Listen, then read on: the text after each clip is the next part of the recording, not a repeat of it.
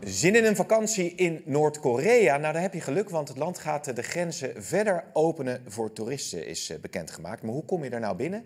En wat kom je dan allemaal tegen daar? Verslaggever Marcel Vink, die was correspondent in de regio, die weet dus de details. Ja. Het land was dus eh, meer gesloten voor toeristen. Waarom? Zeker.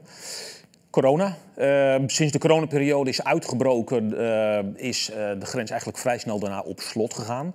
Dat had ermee te maken dat de grote leider, Kim Jong-un, bang was dat corona het land binnen zou komen. Mm -hmm. het was het enige land waar corona eigenlijk totaal niet voorkwam. Werd gemeld althans. Dus ze hebben de grenzen dichtgegooid. En nou ja, nu heel langzaam worden ze weer een beetje opengesteld. Want ze hebben geld nodig. Oké, okay, oké. Okay. En de Russen, ja. Die uh, waren wel langer en meer welkom in het land. Ja. ja, kijk, Rusland is natuurlijk een beetje een nieuwe bondgenoot van Noord-Korea. Die banden zijn aangehaald. Hè. Het zijn natuurlijk buurlanden van elkaar. Uh, China is de grote bondgenoot. Maar uh, ja, de Russen zijn daar inderdaad eerder geweest. in Pyongyang. En in een bepaald skigebied. Dus ja, die hebben al eerder kunnen genieten van al het moois dat het land te bieden heeft. Ja, want dat is natuurlijk ook de vraag als je daar als toerist dan naartoe gaat. Ja. ja wat, wat tref je aan? Nou, je treft in ieder geval een minder aan. Dat is dus een, een persoon die met jou meeloopt uh, tijdens jouw hele vakantie daar. Hè. Dus je wordt eigenlijk uh, geen moment uit het uh, oog verloren. ik heb wel eens gehoord dat zelfs als je naar de wc gaat, dan zit er iemand voor de deur om ervoor te zorgen dat jij niet ontsnapt. Hè. Want ja, ik bedoel, iedereen wil natuurlijk graag verdwijnen in het grote paradijs op aarde hè, en daar niet meer weg. Uh, ja, weet je, je wordt vooral langs allerlei uh, plekken geleid die het, het, het, regime voor je heeft uitgekozen. Hè. Dus je gaat naar grote standbeelden van, van voormalige leiders, uh, grote paleizen. Hè. Het zijn echt een beetje de, de, de, highlights die zij voor je hebben uitgekozen, ja. die je krijgt te zien. Hè. Wat je dus niet te zien krijgt, is de armoede van de bevolking. Uh, daar word je zoveel mogelijk van, van weggehouden. Dus uh, het is zorgvuldig geselecteerd. En het stadion, hè? daar had je het uh, over. Zeker, het stadion. Daar wordt van beweerd dat het het allergrootste stadion ter wereld is. Hè. Dat is dus niet het Maracanã in Brazilië.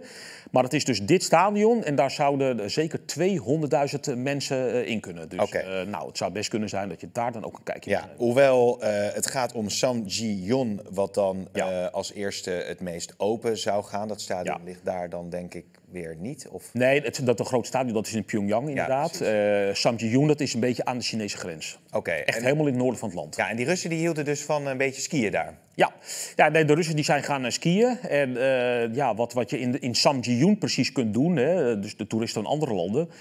Uh, dat is natuurlijk een beetje onduidelijk. Uh, er zit een noedelwinkel, weet ik. Uh, dus je hoeft niet van de, van de honger om te ja, komen. Ja. al zullen de maaltijden wel op een andere manier geregeld worden. Er zit een schaatsbaan. ja, okay. dat is eigenlijk een beetje wat we weten. Maar ja, er zal ongetwijfeld nog veel meer zijn. Maar het is natuurlijk niet heel erg bekend nee, wat je nee. er allemaal kunt doen. Um, jij bent als correspondent daar in elk geval in de regio geweest. ben jij zelf het land ingekomen eigenlijk? Ehm, formeel niet. Ik heb een keer een aanvraag gedaan om daar naartoe te gaan. Dat is toen afgewezen. En dat, dat was dus vanuit China, hè, toen ik daar zat. Uh, moet ook zeggen dat China is eigenlijk de enige, het enige land waar vandaan je naar Noord-Korea kunt. Hè, want je hebt eigenlijk altijd als je vliegt een, een, een stop over in, in Beijing. dat had te maken met mijn status als journalist waarschijnlijk, waardoor het was afgewezen. Mm. Ik ben wel een keer illegaal het land in oh, ja?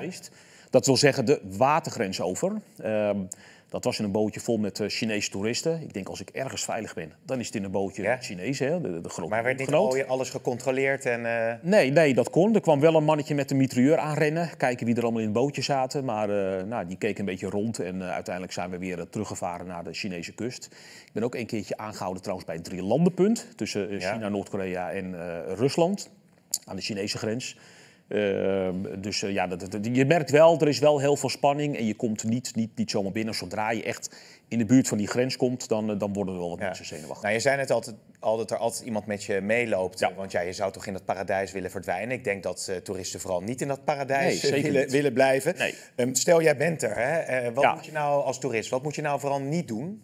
Wanneer loop je risico's dat je echt in het land vast blijft zitten? Nou ja, kijk, je moet vooral niet iets doen wat, wat de miner niet goed vindt. Dus je moet niet naar plekken proberen te gaan uh, waar je eigenlijk niet mag komen. En wat je ook niet moet doen, is spullen meenemen die je niet mag meenemen. Hè. We hebben jaren geleden een Amerikaanse student gehad, Otto Warmbier, mm. uh, die ook in het land is geweest, als toerist dus. Ja, die heeft op een gegeven moment is het verhaal een soort poster of een soort vlag met propaganda heeft hij uit zijn hotel uh, weggenomen, hè, gestolen dan. Ja, die is opgepakt. Die heeft uh, heel lang vastgezeten. Daar is heel veel internationale publiciteit om geweest. Uiteindelijk is er met die jongen iets gebeurd. We weten niet in hoeverre het, het regime daar wat mee te maken heeft, of zijn gevangenschap dus. Maar hij is uh, ja, in zeer ernstige conditie is hij uiteindelijk teruggevlogen naar Amerika. Uh, en korte tijd daarna is hij overleden omdat hij er gewoon te ernstig aan toe was. Oké, maar daar zijn dus heel veel vraagtekens over wat heel veel vraagtekens. is uh, voorgevallen. Ja. Um, stel nou dat mensen enorm enthousiast zijn geworden door deze Nou ja, stedentripje, ja. wie wil het niet? Ja, nee, ja. precies. En denken van, ik wil toch graag die kant op. Dan zijn er neem ik aan specifieke reisbureaus. Ik bedoel, je kan niet even bij TUI aankloppen en zeggen... ik nee. wil een, een retourtje Noord-Korea. Nee, klopt. Het, veel gebeurt via Choreo Tours. Hè. Dat is dus een, een reisbureau dat echt aan Noord-Korea is Um, ja, daar zal je dan echt wel moeten, moeten aankloppen uiteindelijk. Of de reis wordt in ieder geval door hen geregeld, omdat de mogelijkheden zijn zeer beperkt. De Noord-Koreanen die zijn zeer zorgvuldig uh, met welke reisbureaus ze zaken doen. Dus uh, uiteindelijk kom je wel bij waarschijnlijk Corio uit. Uh, ja. En dan uh, wordt het ook nog wel flink betalen, want echt heel goedkoop is het ook weer. Ja, want dat vroeg ik me ook nog af. Je zei inderdaad, Korea, Noord-Korea doet het omdat, omdat het land geld nodig heeft. Ja. nou ja, toeristen zijn natuurlijk altijd aan het kijken van wat is het geld daar waard en hoe, hoeveel kan ik uitgeven en zo. Maar het is natuurlijk ja. best wel duur. Het is voor toeristen best wel prijzig, omdat het natuurlijk een gesloten land is. Dan moeten de, de minder moet ook betaald worden natuurlijk. Dus het, het kost wel wat, maar ja, dan krijg je ook wel wat. Ja, het is in ieder geval uh, fascinerend, uh, denk ik, om zoiets uh, mee te mogen maken. Ja, het is een bijzondere in ervaring. In het geniep gedaan. Marcel, dank voor je toelichting. Ja, oké, okay, graag gedaan.